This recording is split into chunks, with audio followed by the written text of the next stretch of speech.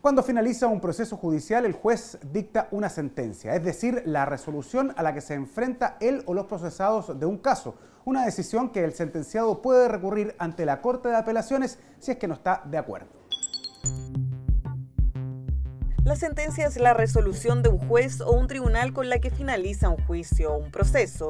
En materia civil, laboral y de familia, una vez que hay sentencia, se concede la razón a una de las partes y se obliga a la otra a cumplir con la decisión judicial.